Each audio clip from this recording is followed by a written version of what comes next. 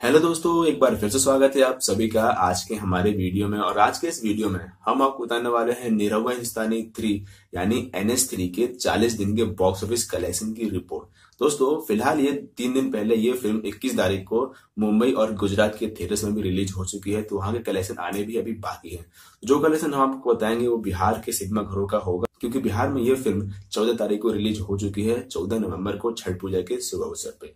Film में lead role में है भोजपुरी के jubilee star Dinesh Lal Yadav. Film को प्रोड्यूस किया है प्रवेश लाल यादव और फ़िल्म को डायरेक्ट किया है मंजुल ठाकुर जी ने, जिन्होंने एन एच टू यानी निरोवन हिंदुस्तानी टू को भी बना चुके हैं। दोस्तों, फ़िल्म में दो एक्ट्रेस हैं आमरपाली दुबे और सुबी शर्मा। ये फैमिली एंटरटेनमेंट है और सबसे बड़ी बात यह है कि और फ़िल्म को यूएस सर्टिफाइड के साथ रिलीज़ किया गया है।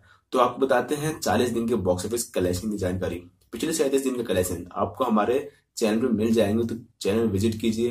वीडियो सेक्शन में आपको सैंतीस दिन की जानकारी मिल जाएगी। इस वीडियो में हम आपको आखिरी तीन थर्टी एट थर्टी नाइन और चालीस थर्टी एट थर्टी नाइन और चालीस दिन के बॉक्स ऑफ़िस कलेक्शन के बारे में बताएँगे। तो फ़िल्म ने अपने अड़तीसवें दिन, चौदह लाख रुपए की ओपनिंग ली फ़िल्म ने अप...